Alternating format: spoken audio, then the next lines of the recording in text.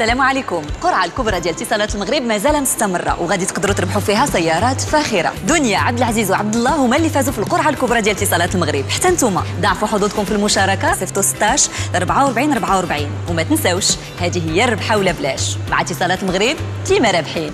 اتصالات المغرب عالم جديد يناديكم.